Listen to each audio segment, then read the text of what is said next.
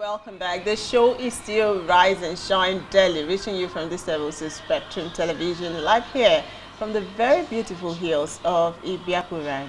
And yes, indeed, in case you don't know, you can follow us on social media on Facebook and Instagram with the handle at Spectrum TV NG. And our website is www.spectrumtv.ng. And just before the break, we were talking about quite a number of things, especially reference to uh, maintenance culture and um, social amenities. And Mm-hmm. uh, we have been joined right now by our guest in the studio in the person of Osondu Ahirika, who is a public affairs analyst. You're welcome to the program again, sir. it's good to Thank you have very much. It's nice to be here. Yeah, it's Good exciting morning, to have you. Nigeria. Good morning, Akwa Ibom. Good morning, Idurwan. That's Yes. right. Ibiakuran. Ibiakuran. Absolutely. Exactly. You're welcome, You're sir. Good to have you again. Thank yes. you. So just before you came in, we were talking about um, social amenities and maintenance culture in Nigeria. So um, let's ask this question. So why do we lack this maintenance culture in Nigeria? Because you see a lot of things that the government have provided, but yet we still find out that there, there is a crack or hinge here and there. So why do we have that? It starts from the home. Okay. You know, the maintenance culture is something that must be cultivated at home. I, I, I, I try an experiment in my home. Let me begin with my home. That's right. And perchance my children are listening to me. They'll know what I'm talking about. I go buy a pack of Bic. Okay. I never buy biro, what you call biro, pen Mm-hmm. uh, in, in Sing- singles. singles, yeah. I buy a pack and I keep it at home. You wouldn't believe it that even before a month is out, all It's goes missing.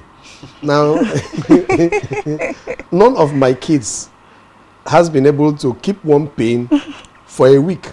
For a week. So the maintenance culture starts from there. And I That's try right. to imbibe in them that, look, okay, I'm going to put a sign on this pen. you are going to show me this pen at the end of Sunday. Okay. And with all the traits, I, I try to apply to see if they can keep that pen. At the end of Saturday, Oh my one God. of them will come to me and say, Daddy, Daddy, that my pain. I don't know if, if Augusta is the one that did it. So Wow. it starts from the home. Yes. You go to the kitchen after eating, after meals, you try to imbibe the culture that immediately after eating, get your plates washed and stacked. That's right. You will see if they do it for two days, on the hmm. third day, they lose that concentration. That's right. So maintenance culture is apparently one value that is not entrenched in our psyche, in our mindsets. So it starts from the home. Hmm. Now, if you, you take it to the larger society, when people can't care for what they have, now with bias to Ibibio, let me say what the Ibibio say. Ebo ni mgbo kama mgbo mo ubo iba. That's right. Eh, but it's a kama care. That's the owner, the owner of a property takes care of his property with his two hands. But a stranger uses one hand. eh, That like a desiccal attitude. Now, if people can't even maintain their own property, how much more? How much you look at people. People, you give somebody your car to drive for you, or you hire somebody as a driver. Mm-hmm. When you are in the car, he he Takes his time. he takes careful. his time. He's very careful. Give him just ten minutes Huh. to drive out. He drives that car with such recklessness because mm-hmm. it is not his money That's right. is used to maintain the vehicle or to fix the vehicle when it breaks down. So it, it is apparently something that is down there in our subconscious that we don't care for anything that is put under our care. You take it to the public f- sphere, that becomes worse because after all, it's nobody's property. and it is not even apparent to them that it is the taxpayers' money that is used. In other words, your money that is used to provide those amenities. So nobody cares. And everybody just treats it that way. That's why we have a very bad maintenance culture in our state. and in Nigeria as a whole. That's right. Yeah. Now talking about that, because it, it, we know that that is a fact. What you've said. Is it specific to this part of the world? Because uh, from what we see in the movies, that other cultures are doing pretty much well in that regard. Is it a culture thing for us? Uh, absolutely. That's why I told that it's it's it's not in, i- ingrained in our cultural value to care for what we have. The maintenance culture, and I, that's why I started from the home. And I don't know if people will share the same experience I, I, I'm giving you now. Now, you, you live in a compound. When in, in those days, by God's special grace now, at least uh, I, I have a place I can call my house. That's right. But in in in, in latter uh, former years or past years, I was a tenant. Now you wake up in the morning in a, a compound with four tenants. Somebody will wake up in the morning and, and sweep a stretch of his own, you know, apartment Yeah. from this window to this The window window. and leave the rest of the compound and then he goes to work. He has done morning duty. Now, if the other three tenants don't have time to sweep, then the entire compound, Ha. even with what he has done, becomes a, a total mess and they don't care. That still goes back to that culture. But I made it a duty that any day I wake up, I try to set the example. And those who were my neighbors will attest to what I'm doing. I sweep the entire compound. Any day I come out to work, I do it for everybody, and I don't wait for any thank you. Even sometimes before they even show up, I had gone to work, and I, I don't wait for that. Now, it is something we have to learn. It is not here. If you go outside of this country, and why it is so it is because there are no consequences too, especially when it comes to caring for public infrastructure. That's right. There are no consequences. People dump refuse anyway and, and, Yeah. and go scot free. People vandalize uh, public utilities like wire Yeah. ca- NEPA cables, uh, waterboard uh, uh, uh, Pipes. and, and pipes and amenities, and mm, there are no consequences. Even when they are caught, maybe a little bribe will settle it and they go. But if you try this in other nation Climes. states, Yeah. you will go to jail. That's right. You will go to jail. You will pay hefty fines. I- I- breaking traffic rules here. if you break traffic rules, if you break traffic rules in foreign lands, you will be ticketed. That's right. And whether you like, you can't escape the ticket. You will pay heavily for it. That's right. If you break it here, if the law enforcement agents corner you, a little bribe settles it. So impunity is the word. Impunity cuts across every strata of life in our society and it affects most our maintenance culture. We do everything with impunity. Now, Okay. talking about uh, social amenities, we know that most times they are out there, and uh, when they get vandalized, everybody suffers for it. Mm-hmm. How is it possible for people living in a particular environment to actually keep an eye on this stuff? Beautiful. There is something we call community watch. It, it, it, it behoves on everybody to do something about it. Now, it, I, can, I can assure you there are places in our country that have a very stern maintenance culture. They set up a community watch. Now, it starts with any, any village that has, of course, every village has a structure, the youth structure. They call them the youth, uh, they have a youth president, they have the village council where they have a chairman, and of course, they have a village head, they have a village sec- council secretary. Now, especially the youth structure, there are villages you go to, and they have a solid youth structure that maintain that one of the duties of the youth structure is to keep a watch over public utilities uh, like transformer uh, NEPA cables water pipes pipelines that are uh, situated in their their locality. community and you dare not you dare not transgress on those areas Yeah. the youths will get hold of you deal with you and then hand you over to the law enforcement agencies and ensure even if you have a vehicle and your vehicle rams into some vehicles lose control skid off the road and ram into this part. They will they will impound the vehicle ticket you report you to the law enforcement agencies and until you fix that amenity. And now every village should have such a culture That's right. and maintain. If you are in a village and and your cables are being vandalized that means the village is in fact there are people from the village who are abetting those who are perpetrating that that crime. Because if the village sits out or the community or the clan or the local government says we want to maintain sometimes you award the the, the government awards a contract for the electrification of a, a community. As soon as they mount poles and bring cables two days after all the cables are are lost. if you investigate properly they are insiders collaborators within the village who collaborate with external forces. Eh, because they will get for you know i'll always use this in bbl so after all, we now have something they call bring back our language That's You right. know, it is the rat that is in, in, inside the house Yeah. that in, Invite- invites the rat outside to come and feast in the kitchen. Kai. So until this is rooted out, you cannot have a good maintenance culture. So community watch.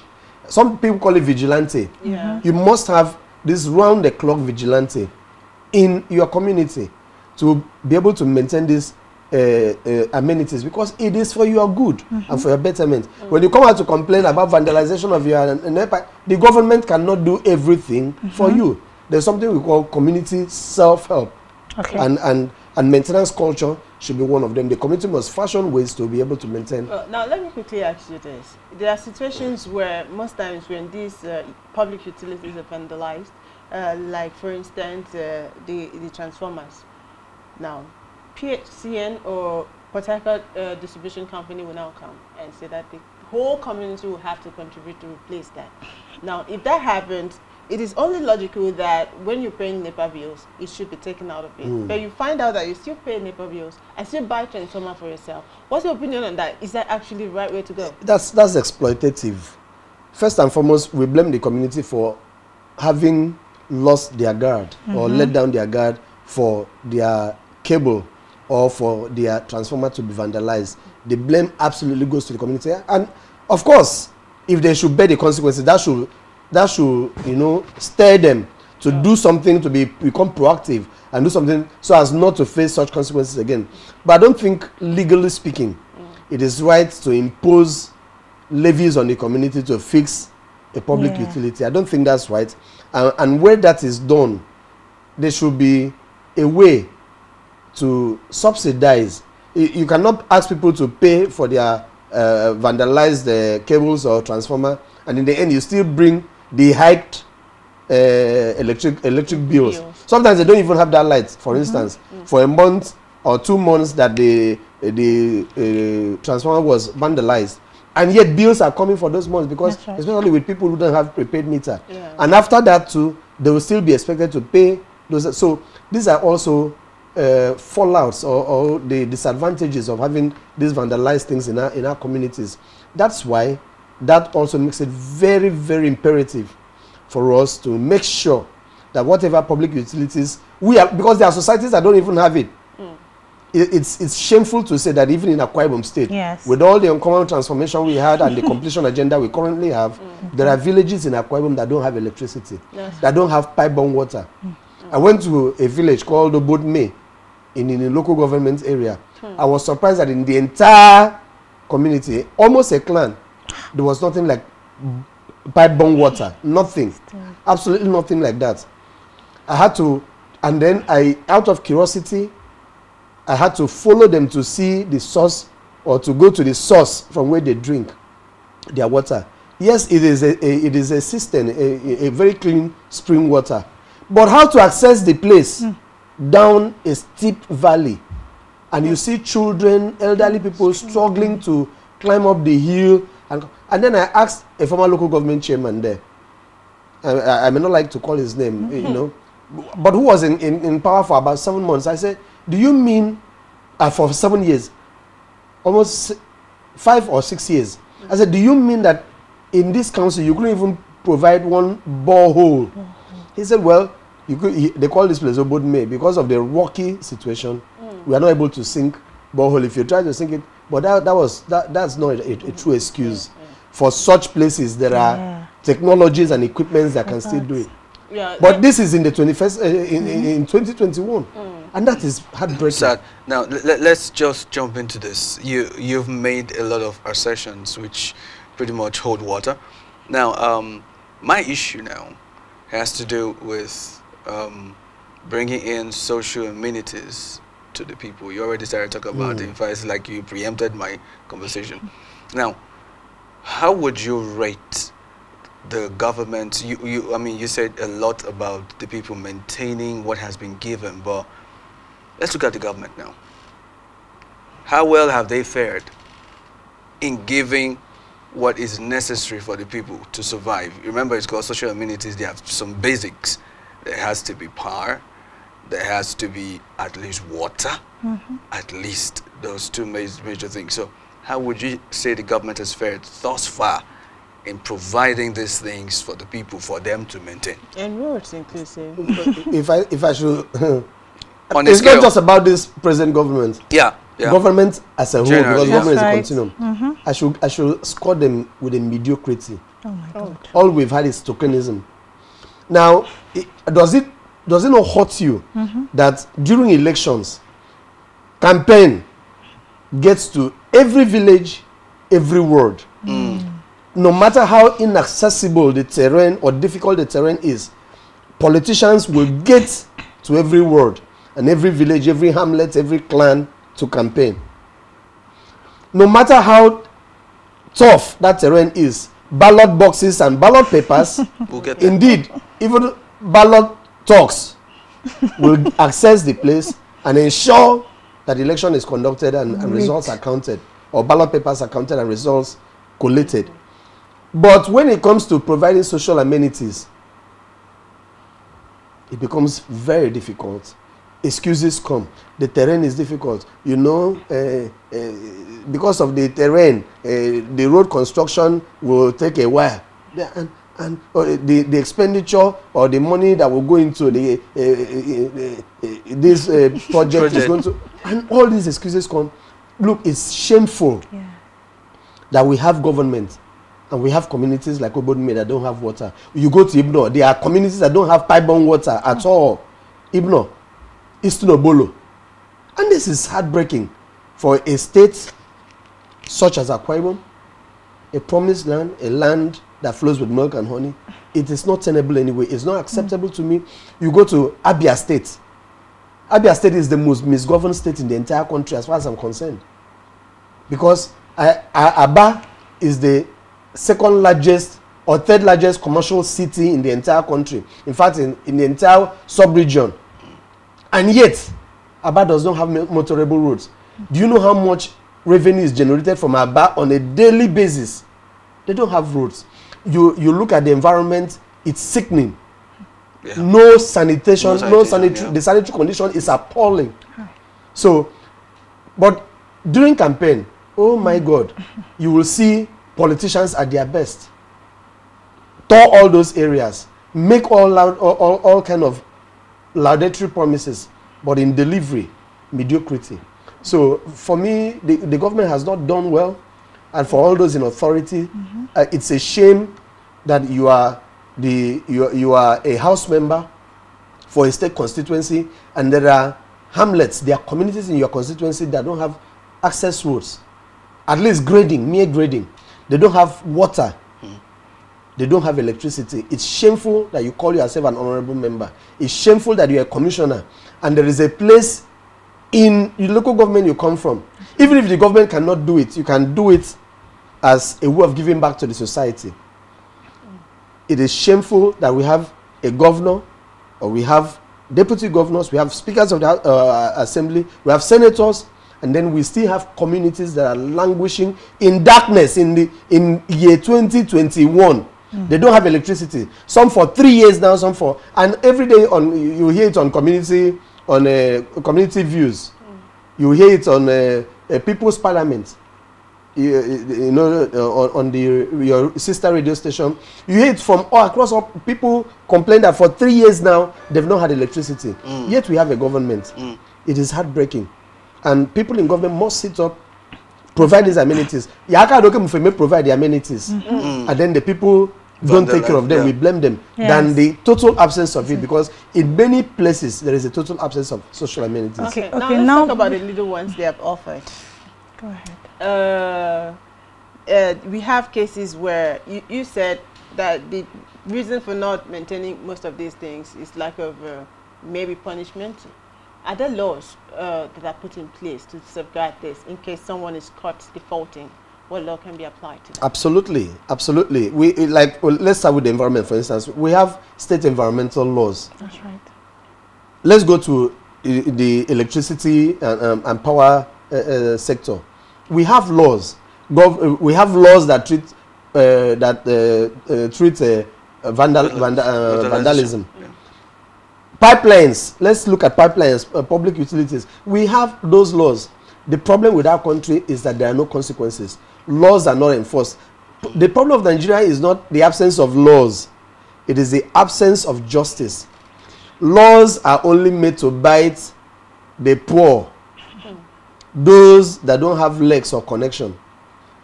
The, the, the big men, the, the big men, quote and unquote, they are sacred cows in our country who go away, who get away with impunity. It's something that Ray would describe as the courage to do nonsense. There are people who have the courage to do nonsense because they have backers. Mm. Even if you pick them up, a call will come from above, and, and that settles the matter. That's so right. it's not it's not the absence of laws. I can tell you, we have laws that deal with all manner of vandalism, and that that specify how public utilities should be maintained. These laws are not kept, even on the part of government. For instance, we have. By the way, let me commend the Akwa State government. They've done massively well in maintaining some public utilities, especially like the Gospel of Babio Stadium, for instance. You, you compare to the National Stadium, the Mushu uh, uh, Kashimowo oh, Abiola Stadium in uh, uh, Abuja, it's nothing to write home about. Compared to the National Stadium in Surulere, Lagos, it's nothing to write home. It has become a den of thieves. In fact, the MKO Stadium has just been recently renovated again, and they say maybe they will start playing football. But for how many years now? it had become a, a, a, a grazing field for herdsmen. Cows litter the place. But Akwa state government has consistently maintained the Gospel Obodo Babio Stadium. So I give them kudos for that. Now, why are they able to do it? Because even in the laws, there is an established pattern for taking care of that stadium and then it is enforced. Mm -hmm. So the government must enforce rules that also have to deal with maintenance of public utilities. pipeline vandalism was a, a, a, a you know a regular, a regular thing in this country, mm. but it's no more regular. Why? Because uh, pre under President Yaradua, Umaru Yaradua, as part of the amnesty program, mm. it, it was a, a, a system was fashioned out where former militants were now engaged to provide pipeline security, okay. and they were paid for it.